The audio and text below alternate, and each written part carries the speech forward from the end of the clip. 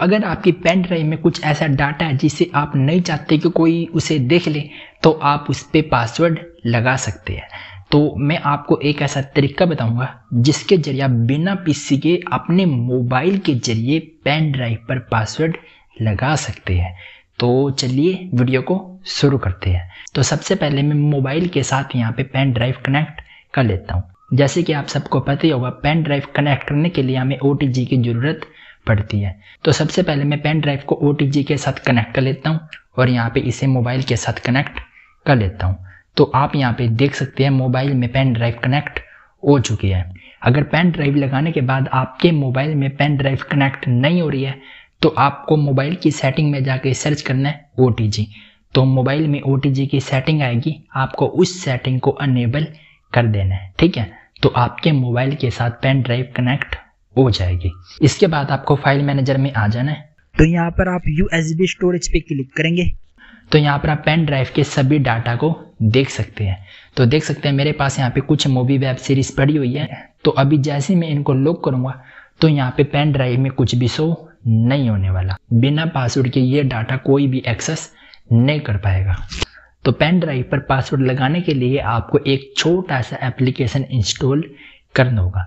तो उसके लिए आपको प्ले स्टोर पर आ जाना है। यहाँ पर आपको सर्च करना है ओ टी जी लोकेट तो आपके सामने ये एप्लीकेशन आ जाएगा। तो इस एप्लीकेशन को आपको इंस्टॉल कर लेना है। तो मैंने पहले से इंस्टॉल किया हुआ है तो डायरेक्ट मैं यहाँ पे ओपन कर लेता हूँ। तो यहाँ पर आपके सामने कुछ इस प्रकार की स्क्रीन आ जाएगी। तो यहाँ पर आपको परमिशन को अलाउ करके यहाँ पे ओके पे क्लिक कर देना है। ठीक है? तो इसके बाद आपके सामने एप्लीकेशन कुछ इस प्रकार से ओपन हो जाएगा। तो यहाँ पर आप देख सकते हैं, आपसे यहाँ पे सिक्स डिजिट का पिन सेट करने के लिए बोला जा रहा है। तो पेन ड्राइव पर पासवर्ड लगाने से पहले एक और बार मैं आपको पेन ड्राइव का डाटा दिखाना चाहूँगा। तो देख सकते हैं, यहाँ पे पेन ड्राइव का डाटा यहाँ पे शो कर रहा है, ठीक है?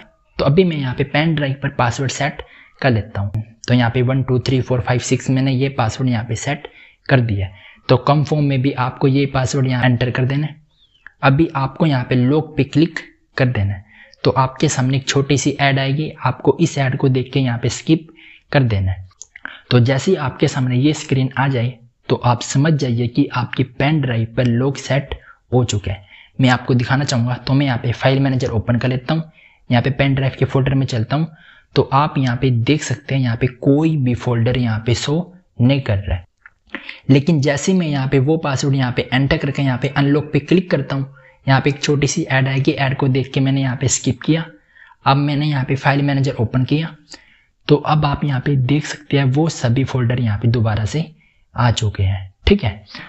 तो अब आप बोलेंगे तो खुद के मोबाइल में करके दिखा रहा है? कोई बात नहीं, मैं आपको यहाँ पे इसे और एडवांस तरीके से यूज़ करके दिखा देता हूँ। तो मैंने यहाँ पे दोबारा से पेन ड्राइव को यहाँ पे लॉक कर दिया है। तो अभी मैं इस मोबाइल से पेन ड्राइव को निकाल लेता हूँ। और दूसरे मोबाइल में इस पेन ड्राइव को मैं यहाँ पे लगा लेता हूँ। तो यहाँ पे पेन ड्राइव यहाँ पे कनेक्ट हो चुकी है। अब मैं यहाँ पे फ़ाइल मैनेजर ओपन करता हूँ। यहाँ पे यू स्टोरेज पे मैंने यहाँ पे क्लिक किया। तो आप यहाँ पे देख सकते हैं यहाँ पे MT लिखा हुआ शो कर रहा है। डेट्स मीन्स कि अगर पेन ड्राइव पे लॉक लगाओ तो पेन ड्राइव को किसी भी मोबाइल में लैपटॉप में पीसी में लगा लेना। पेन ड्राइव का कोई भी डाटा वहाँ पे शो नहीं होने वाला जब तक आप पेन ड्राइव को अनलॉक नहीं कर लेते। तो पेन ड्राइव को अनलॉक करने के लिए आपको मोबाइल में उसी एप्लीकेशन को एक बार इंस्टॉल करना होगा। उसके बाद आप एप्लीकेशन को ओपन कीजिएगा। वहाँ पर आपके सामने पासवर्ड एंटर करने के लिए बोला जाएगा। तो आपने उस पेन ड्राइव पर जो भी पासवर्ड लगाया होगा, वो पासवर्ड आपको यहाँ पे एंटर करना होगा। एंटर करने के बाद आप यहाँ पे अनलॉक पे क्लिक करेंगे। एक ऐड आपके सामने आ सकती है। ऐड को देखने के बाद आपको यहाँ पे स्किप कर देना है। अब आप फ़ाइल मैनेजर में जाके देखेंगे तो आपके पेन ड्राइव का डाटा वहाँ पे शो होने लग जाएगा। तो इस प्रकार से आप मोबाइल के ज़रिए पेन ड्राइव पर लोग लगा सकते हैं। लेकिन याद रखना, अगर पेन ड्राइव का पासवर्ड भूल गए तो आपको अपना डाटा बोलना होगा। तो पासवर्ड ऐसा लगाना जो आपके याद रहे।